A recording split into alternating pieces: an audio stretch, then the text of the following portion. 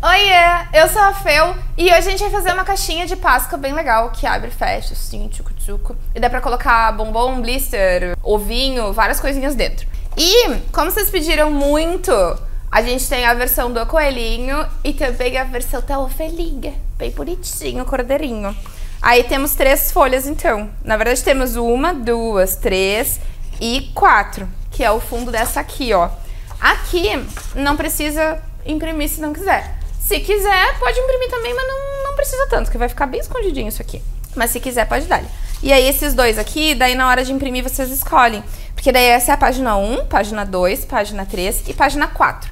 Então, na hora de imprimir, se tu não quiser essa aqui, por exemplo, tu põe pra imprimir só a primeira, a terceira, e aí vira e imprime a quarta. Se não quiser essa aqui, aí tu imprime a segunda, a terceira e a quarta, tá? Aí vocês fazem desse jeito, para caso vocês queiram um ou outro. Certo? Certo. Eu vou montar este aqui hoje, porque a montagem é a mesma coisa, tá? Daí, então, a gente vai montar esse aqui. E a gente vai começar com essa parte. A gente vai vincar com o palitinho de unha e a reguinha. E vamos marcar em todas as partes pontilhadas e essas coisas que vocês já sabem como é que funciona. Porque já temos vários arquivos que fazemos isso aqui. Isso aqui, que eu uso, eu já falei algumas vezes, é um palitinho de unha, né?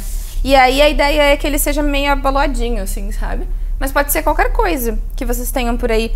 Inclusive, tem até um Rios lá no Instagram, que caso não me siga, pode me seguir por lá já, que tem várias coisinhas pra vincar e a gente já vincou até com garfo. claro que o garfo não é o ideal, né? É só pra mostrar que dá pra, dá pra vincar com qualquer coisa. Ó, vou vincar essa parte aqui também já. Mas dá pra, dá pra escolher coisas aí que sejam assim e ele é pra usar pra vincar. Eu gosto muito dessa ideia da gente usar o que tem, sabe? Claro que tem umas coisas que são mais específicas, né, pro que quer fazer. E aí, claro, é melhor ter as, as coisinhas certinhas. Mas a maioria das coisas a gente consegue adaptar. E a gente vai adaptando enquanto dá. Aqui a gente vai cortar na volta. E aqui, ó, onde tem essas linhas que não é pontilhada, a gente vai cortar também, ó. Aqui, aqui e aqui. E a mesma coisa do outro lado.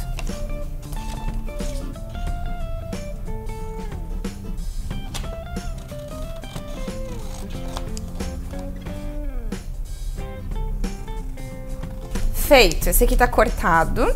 E agora a gente vai...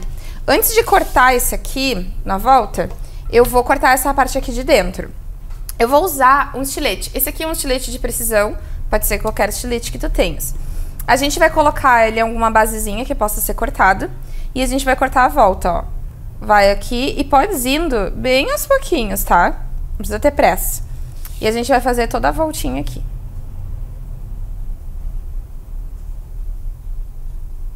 Feito. Ah, ficou uma partezinha, ó. Aqui eu deixei uma partezinha branca. Vou passar um pouquinho mais.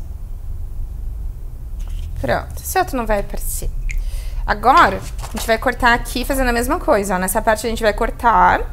E aí na volta toda também. E já vou cortar as tags também. Aqui, ó, a ideia é tu colocar o nome de quem vai receber. Claro que na, ali no arquivo ele vai sem o nome, né? Obviamente. Aí tu pode colocar. Tem um vídeo aqui mostrando como pode fazer para colocar usando o Canva, que é um programinha gratuito. Mas se tu mexer com outro programa, tu pode usar outro programa também.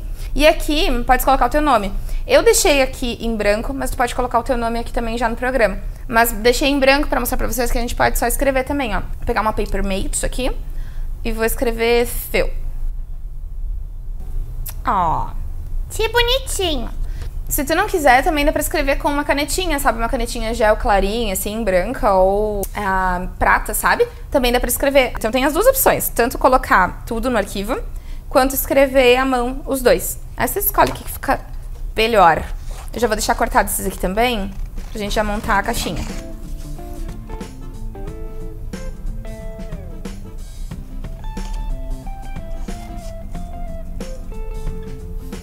Pronto. Temos tudo cortadinho e bonitinho.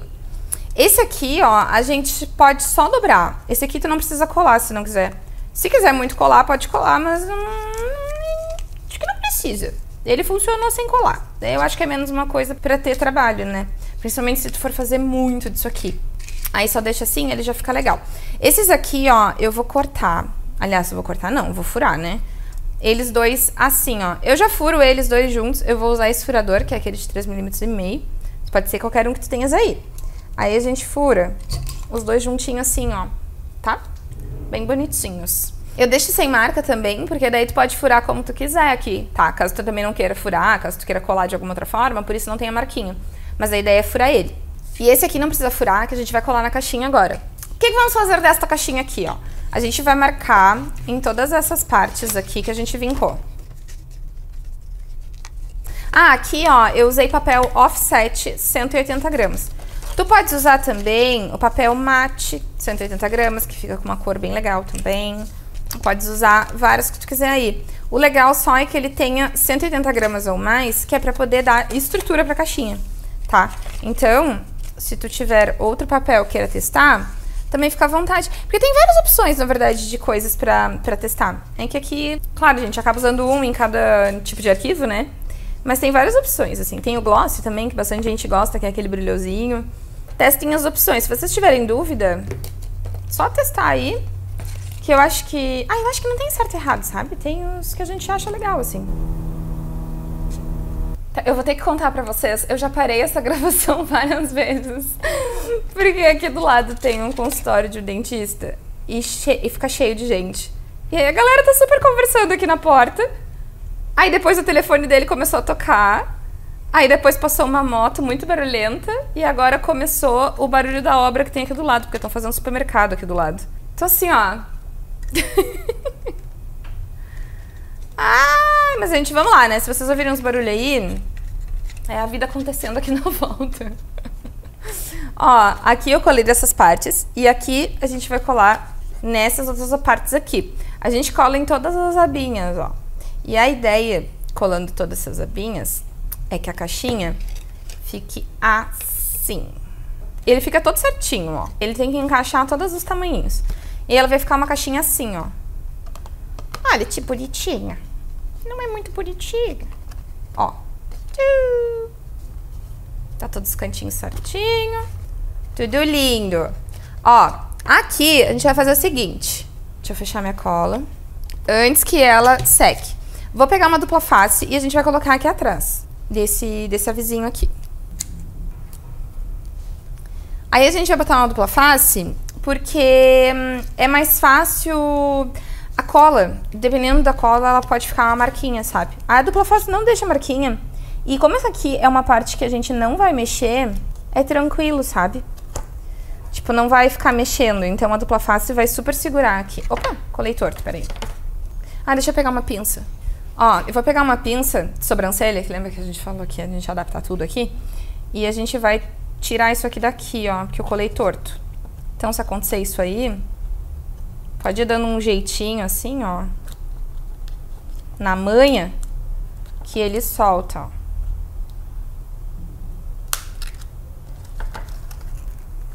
Feito. E aí eu vou colar com a pinça, pra não ter erro, ó. A gente põe ele bem direitinho. Tá. Agora sim. Agora tá retinho. Bonito. E esse aqui, ó, a gente vai colocar aqui dentro. Ele é bem rentezinho aqui, então pode ser que tu ache meio estranho de colocar, ó, mas ele cabe, tá? Ele cabe direitinho. E aqui, o que, que tu pode fazer? Depois eu vou te mostrar outras opções de coisas que cabem aqui. Nesse aqui, eu vou colocar um blisterzinho com um Ferreiro Rocher. Mas cabe várias outras coisas que eu já vou te mostrar. Aí aqui, ó, ele vai ficar desse jeito. E aí a gente vai fechar. Para fechar, o que, que eu pensei? Opa! Pensei a gente usar o cordãozinho encerado, que é esse aqui. Esse aqui é a cor 0778. E a gente vai pegar um pedaço aqui. Normalmente eu meço assim, ó. Eu deixo um espaço para poder fazer o laço. E aí eu ponho o dedão onde vai ser o laço e faço a volta. Eu vou fazer nesse aqui duas voltas. Então a gente dá duas voltas, junto aqui. E aí é esse o tamanho aqui de cordão que a gente precisa e ele já tá até aqui, bem bonitinho. E eu vou empurrar mais pra trás aqui um pouquinho. E aí a gente faz um assim. Nesse aqui a gente não dá dois nós, lembra? Porque a pessoa vai abrir aqui. Então a gente dá só um nó. Se for dar dois, vai ser complicado a pessoa abrir depois. E aqui a gente coloca a tagzinha. E aí fazemos um lacinho, ó.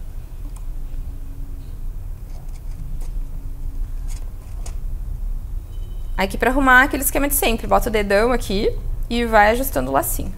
Até ele ficar bonitinho. E aqui eu vou cortar o excesso. E tá pronta a caixinha bem bonitinha. E aí a gente abre ela, bem linda. Ah, eu ganhei uma caixinha. O que será que é a caixinha? Ah, ela é muito fofinha, né? Eu gostei muito dela. E aí, ó, essa aqui, vocês sabem, tá gratuita para baixar aqui tanto no primeiro comentário fixado quanto na descrição. E agora eu vou te mostrar como é que ficam as outras opções. Aqui, ó, o da ovelhinha fica assim, bem bonitinho. A montagem é a mesma, é a mesma coisa. Aí só tem a ovelhinha aqui na frente. Aí, lá no site, a gente tem outras opções de cores. E opções para colocar dentro também que eu já vou te mostrando. Temos a versão laranjinha, ó, com verdinha, bem bonitinha. E aí dentro, ó, deixei uma aberta aqui pra mostrar pra vocês. Dentro dessa aqui, eu coloquei um ovinho desses aqui, ó. Esses aqui eu encontrei numa lojinha e ele tem, deixa eu te dizer quantas gramas ele tem. E ele é um ovinho de 25 gramas.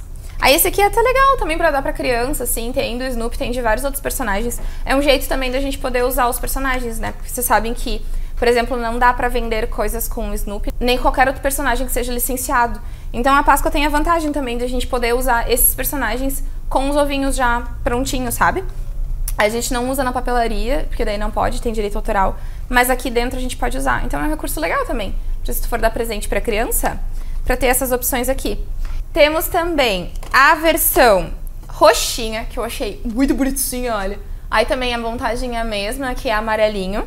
E aí, dentro dessa aqui, eu coloquei um Kinder Ovo, ó. Também cabe. O Kinder Ovo tem 20 gramas. E aí ele também cabe bem aqui, ó. Fica bonitinho também. O Kinder Ovo é uma delicinha, né? Daí é legal também. E aí, então, tem o roxinho. Também temos a versão azulinha. Teve um membro que pediu uma opção mais sóbria, assim, sabe? Daí eu fiz essa versão aqui, que acho que cabe bem até para adultos e tal que é bem, tipo, é um azul escurinho, assim, também. Mesma coisa, também tem a versão do coelhinho e do cordeirinho. E dentro desse aqui, olha, eu coloquei um bombonzinho. Ele cabe bem assim, ó. Ele cabe bem retinho, tá vendo? E aí ele fica preso ali. Também é uma opção. Caso tu queira dar um bombom, também rola fazer ele assim. E também tem a versãozinha aquela que a gente sempre faz, que é toda lisinha, ó. Lá tem as linhas para tu poder usar no papel que tu quiser. Esse aqui eu usei papel craft 180 gramas. Pode ser o 200 também, o 230. E aí eu fechei só diferente, porque eu não coloquei o coelhinho aqui, nem, o, nem a ovelhinha. Porque quando a gente imprime no papel craft, ele fica mais escuro. Então se a gente imprime com o bichinho, ele vai ficar escuro, escuro, escuro, porque a base é escura, não é branca. Entendeu? Então nesse aqui eu deixei 100. E aí na parte de dentro, ó, eu botei com papel reciclado, tá? Tanto aqui quanto nessas partes aqui. Isso aqui é papel reciclado com papel craft, que fica bem legal também. Eu achei uma proposta bem bonita. Eu adoro craft, né? Teve, teve um tempinho que eu tava fazendo. Eu tinha deixado de fazer coisas de craft e vocês mandaram mensagem falando: cadê as coisas de craft? Que bonitinho. Então estão aqui as opções em craft. Agora eu vou botar um monte de opção em craft. E é claro, temos a nossa versão dos membros, que tá tão bonitinha. Sempre falo que tá bonitinha, né? Olha só, ela está bem colorida.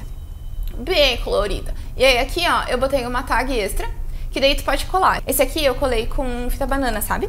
Tá ali, ó. Tá vendo? Opa, ali. É fita banana, em cima. Mas embaixo também tem, caso tu não queira colocar a tag, queira deixar só impresso igual esses aqui, tem a opção de ser só ali, ó. Ele já tá impresso. Aí é só colocar esse aqui por cima. Aí aqui a tagzinha é diferentinha, ó.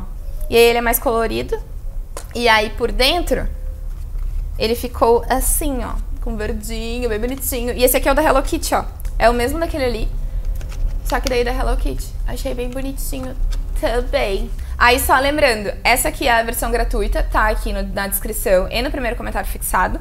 Essas opções aqui estão todas lá no site, tá? Inclusive essa aqui, se tu quiser em PNG, também tem lá no site. Então tem todas essas aqui em PDF, em PNG.